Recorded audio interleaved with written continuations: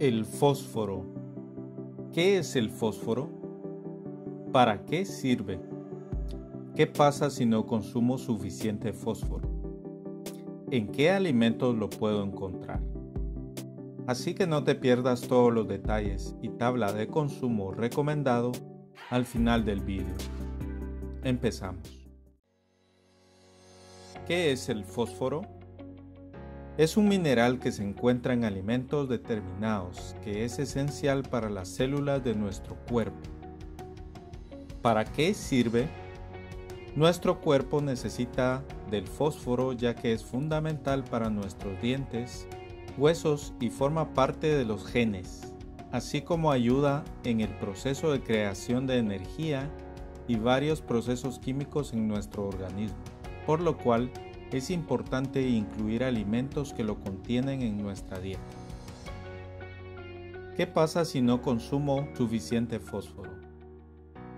Puede causar anemia, problemas en coordinación personal, debilidad muscular, dolor y deformación en los huesos, sensación de picazón y ardor en la piel, así como confusión y se incrementa el riesgo de infección general en cualquier parte del cuerpo.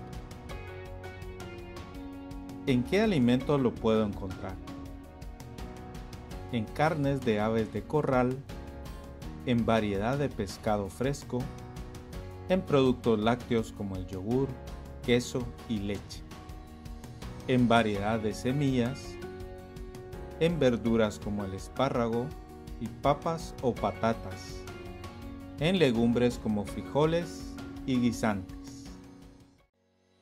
En conclusión, estas son las respuestas a preguntas más importantes del fósforo, por qué lo necesitamos y lo esencial que es incluir alimentos que lo contengan en nuestra dieta, aclarando que como en cada persona influyen aspectos diferentes, como lo son la edad, estilo de vida, sexo y condición física, los resultados pueden ser diferentes en personas que lo incluyan en su dieta.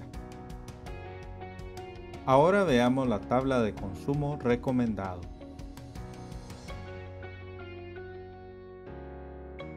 Recuerda que si necesitas más información, puedes ver los enlaces abajo en la descripción. Y si el vídeo te gustó, puedes suscribirte al canal para estar informado semanalmente. Gracias por dar me gusta y compartirlo en tus redes sociales.